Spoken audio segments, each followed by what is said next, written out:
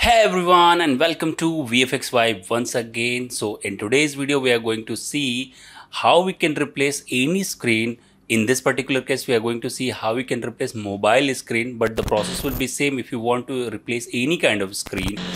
So yes the workflow will be we are going to track our screen inside Mocha and later on we are going to export that data to Nuke and we are going to replace our mobile screen.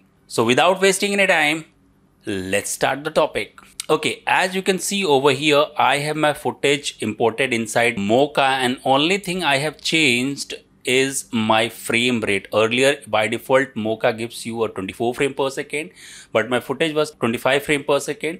That's why i have to change it. To rest the setting is by default. And as i can see over here i am having a good amount of movement in my camera and i'm going to frame number 0 and i'm going to draw a shape around my mobile something like that. And I think I need to adjust a little something like that I'm going to draw my shape somewhat bigger than my mobile so that I can target all the details inside the mobile. I think this shape uh, will work for me. And after drawing my shape, only thing I'm going to change over here in setting is perspective if any kind of perspective is shifting in my footage. Rest, I'm going to hit track forward from current frame and it will take some time as this footage is UHD 4K. So what I'm going to do, I'm going to fast forward this uh, uh, tracking and I'll come back once it's done.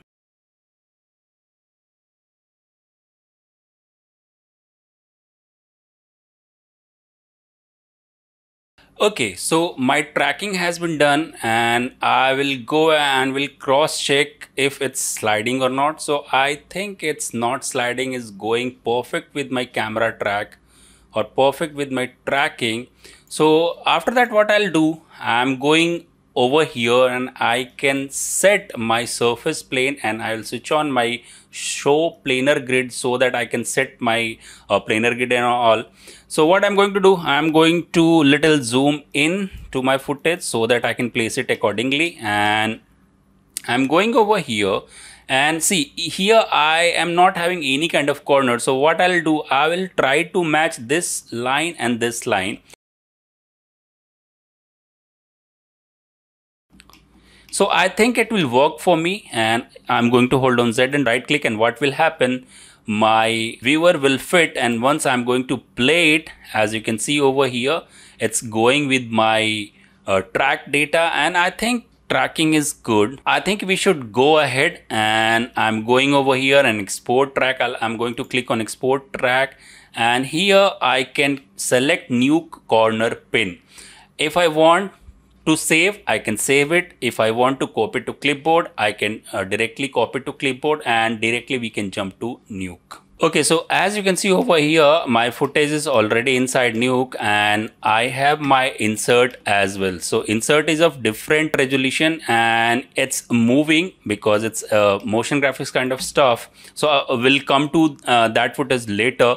So what I'm going to do, if you remember, I have copied my data to clipboard and just I have to do uh, control V. So my corner pin is over here. So uh, if I'm going to directly use my corner pin to my uh, insert, so what will happen? The resolution won't match. So if I'm going to take a merge node and I'm going to uh, do something like that, merge A over B. But what will happen if you are going to see that my corners are not not matching that great right so what i can do i can either key out my footage like I'm going to take a keyer node or Keylight probably and I'm going to take my Keylight and quickly I'm going to key it out. So I'm going to see this I'm going to check this and I'm probably I am going to uh, do something like that. Let's gamma down and I'm getting something. So probably I can fix it. I'm not going to spend much time on this and probably it will work for me. And if I'm going to switch my inputs A over B what will happen?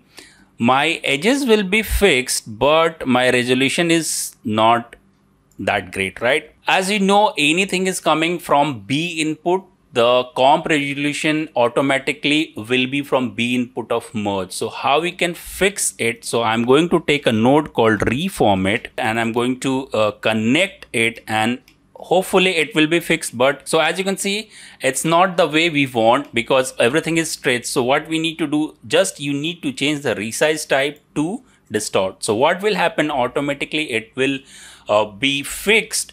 And just it's a little trick. If you want to do something like that you need to change the reformat and you should use resize type distort right? So as you can see over here my everything is fixed. My corners are fixed. As you can see over here my corners are fixed because i'm using my mgfx as a background and uh, my main footage as a foreground. But main problem is I'm getting my this track marker. so how we can fix it? Either you can fix it by uh, doing roto over here. You you have to uh, animate it frame by frame. Not frame by frame but you have to animate it. But here Mocha comes in a very handy way. So I'm going to Mocha one more time and I'm going to frame number first and I'm going to draw a rough garbage shape. So I'm going over here on first frame and might be I can uh, zoom it a little. Okay my garbage shape is done. It's not necessary or it's, it's not mandatory to do a bilkul perfect uh, tracking. So what else we can do? But as i'm going to scrub my timeline it's not going with the track. So what we need to do uh, it's it's recommended just you have to rename it. So my first layer is my track layer and my second layer is my garbage mat. I can rename it so it, it's a garbage mat. So what else we need to do? Here in select your garbage mat and here we have an option called link to track. So i'm going to link with my tracking data and if i am going to scrub it my mask is going with my tracking right Okay, so after doing that, what we have to do, just select your garbage mat and just you need to go to export shape this time. So I'm going to click on export shape and here you have to select nuke roto basic, right? Again, same way, if you want to save that data, you can save it or you can just copy to clipboard. And again, I'm going to jump to nuke and just I have to hit control V. So your mat will come something like that. And how you can use my mat, just take a, a merge node over here and just connect it. And I'm going to use stencil. So as I'm going to use a stencil, it will be my tracking markers will be eliminated and I don't have to worry about animation right? Because I am exporting my mat data on the basis of track data. And if I'm going to see my final output and as you can see over here it's working pretty fine right? So this is the basic thing you can uh, think of and you can use these small small technique to enhance your comp work. And as you can see over on first frame i am not having much light detail but if i'm going to last frame we are having some sort of uh, a light detail over here. So how we can do that? Just you need to take a, a roto shape node and i'm going to draw a roto shape around my edges as per my requirement and I'm going to hit a Z and might be E just to give some smoothness. And now I can go and I can animate it as per my requirement. If you want you can use your tracking data just to do that. But for this case I'm not going to do that because after 50 before 50 number frame I don't have any kind of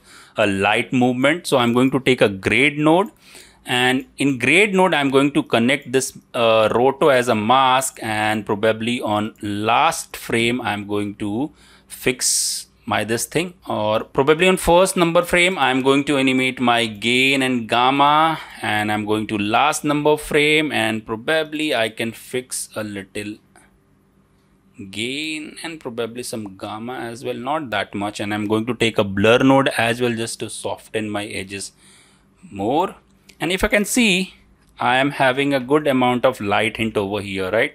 So by doing this much only I'm going to play it on the half resolution. And if I'm going to play it it will take some time and it will play accordingly So as you can see over here, my screen has been replaced. I have used my Mocha tracking data to mask anything, to garbage mask anything, and we have changed our screen inside Nuke. So hopefully this technique uh, is pretty interesting and I'm hoping that this will help you to understand Mocha to Nuke workflow in a better way. And if you're thinking that this video is helping you, please don't forget to like this video, share this video, and if you are new to this channel, please don't forget to subscribe. With this said, this is VFX Vibe signing off. Have a good day.